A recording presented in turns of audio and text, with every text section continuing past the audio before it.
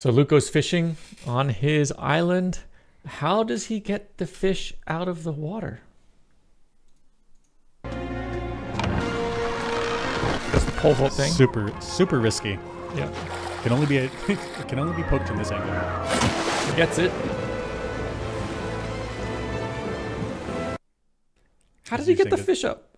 There's a jump cut there, right? Yeah, yeah. Yeah, yeah. Um. Okay. So he. Okay. So he is still holding onto his fishing pole, rod, Yeah. spear, fishing spear, and so he could just one hand at a time just pull it up, but then you get this like, but then you're like holding a pencil from Yeah, yeah. from the top, so it's like super teeter tottery. Yep. Um, that's one way. The other way, which I, I think makes more sense, is you is you from the top. You lift Mhm. it. You lift it up halfway, and Yeah. then it's balanced, so that Yeah. you can rotate it sideways, and then you prop up the top side against the the hill, and then you like inch it inch it forward until you can grab the fish. What if? Okay, okay. I like this. So you, you half. You go, okay, I got a pen here.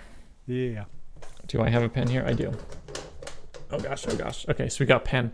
You you lift it up halfway, Halfway. and then you're able to rotate it, and then maybe it. he's able to just rest one end on one side of the cliff, the other end on another side of the cliff. It just rests, Yeah.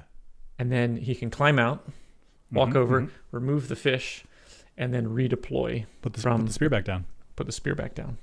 In fact, that's how he gets it back to the position where he pole vaults from. Ah, Okay. I like that.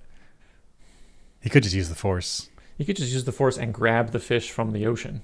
Yeah. And like bunk it on the head on its way up would be, be Yeah. a nice, nice and easy procedure. That's plausible. I like it. Yeah, I like it. I like it though. I don't like this.